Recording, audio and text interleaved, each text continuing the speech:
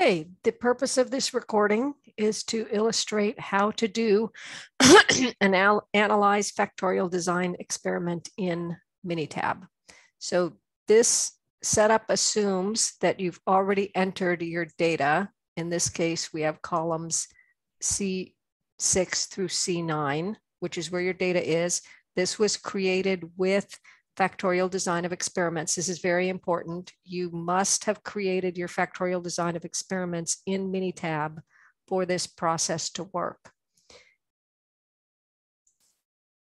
Also, you have a column of data which you have imported into uh, Minitab from ExtendSim. So you've copied that in and then typed in the name of your uh, response variable, which in this case is end time. So now that you have your columns populated, you're going to go to stat, DOE, factorial, and notice that analyze factorial design is available. So analyzing a factorial design, uh, if we have more than one response variable, we can only analyze with respect to one response variable at a time. So end time, select. Now, most of the things that you see in here, we can just use the default options. Uh, we do, however, have to set up which terms we want to use. There is a default option for those terms um, as well. Now, if we want to use terms, we can use those up to a certain number of order in the model. So this will give us like only the order three factors. Most of the time, anything beyond factor three or tends not to be significant anyhow. We can also choose factors individually. So if you thought that a specific thing was significant, you could push that over into your selected terms, or you can remove terms that you feel you don't want to look at. So we're just going to analyze through factor three and then click OK. Okay, now again, the rest of these things we can leave um, as is and just use the default options. Okay, now Minitab does its thing. Notice the first thing we see is this box that says the following terms were totally confounded. Okay, so what that means is that these terms are um, fully correlated with other terms and therefore they're giving you the exact same information. So therefore they've been removed from the model.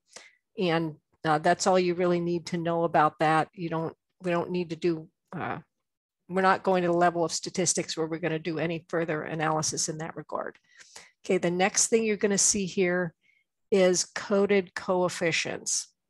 So coded coefficients, if you remember from the reading in law, coded coefficients deal with whether you're translating the values that you use in the factorial design into negative one to one. The reason for using coded coefficients uh, in your regression equation is, and the analysis, as was explained in law, is if we have several inputs that are radically different scales, we don't want that to impact the analysis due to the scaling. So that's why we scale everything from negative one to one because it removes those kinds of scaling effects.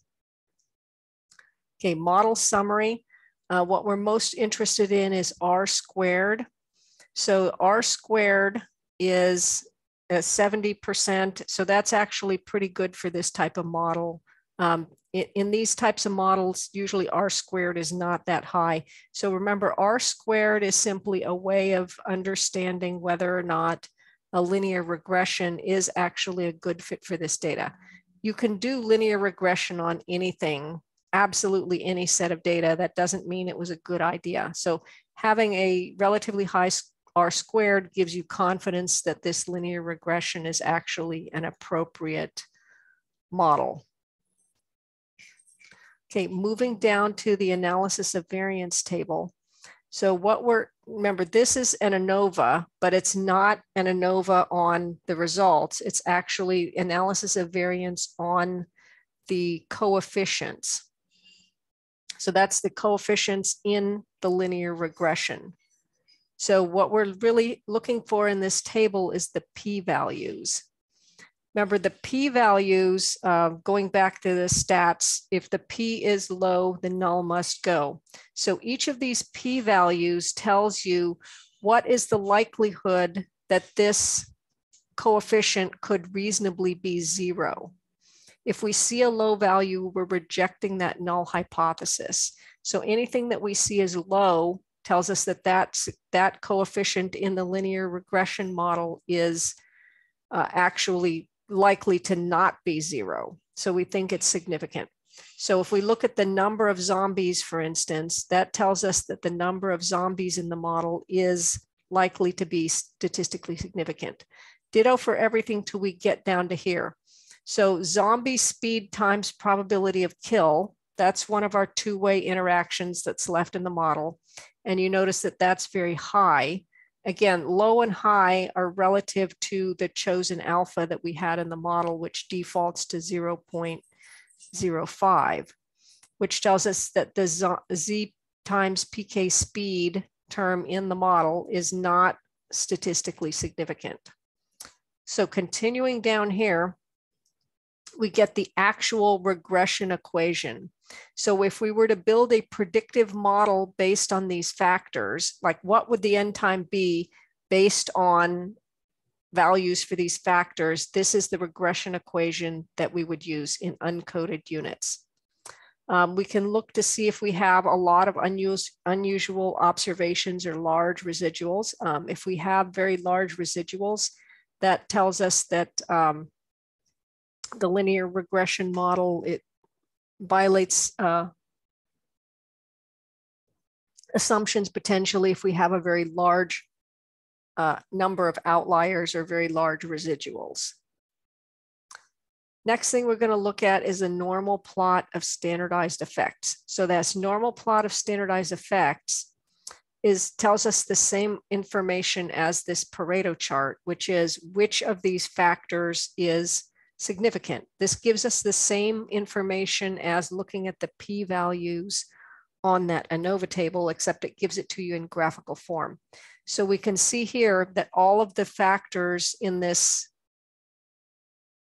study that we're including are NUMZ, G-speed, G-health, et cetera, everything except factor BE, that is factor B times E, zombie speed times PK, all of the rest of the factors are significant, with factor B being the zombie speed is the most significant factor, followed by uh, A and C, which are close together. So everything to the right of this line is significant.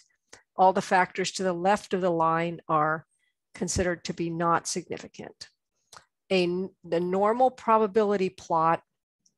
So this is a probability plot of the residuals. The nor this tells us whether or not the assumption for the linear regression that the residuals follow a normal curve is in fact true. And there's um, this gives us the indication of the skewness of the plot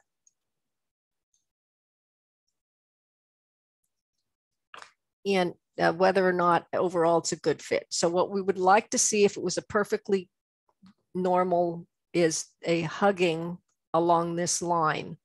We see some stuff here on these tail ends. So that's telling us we don't have a completely perfectly normal distribution, um, which this is okay as far as the type of analysis we're doing. Uh, the other thing to make keep in mind about the type of analysis that we're doing is factorial, um, analyzing the factorial design with a linear regression is the only thing that we have in our toolkit. So if you see something that's badly off normal with these normal probability plots, that's that tells you that the violations are potentially, um, or that the assumptions behind doing the analysis is potentially violated. And that tells you that maybe this isn't the best analysis method and that you might conclude that you know uh, further analysis would need to be done in terms of statistics to do something a little bit better than this because we're not following all the assumptions of the analysis method. Okay, residuals versus time, we should see evenly distributed. Um, we won't want to see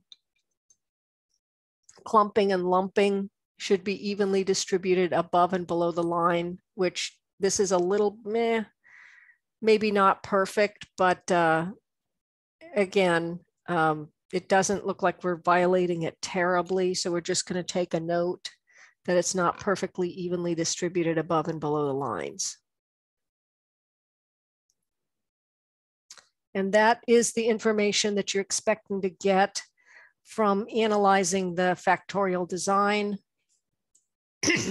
the linear regression equation is something that you may use when you go and try to do some um, predictive calculations because essentially this is this linear regression equation is the meta model, the linear meta model.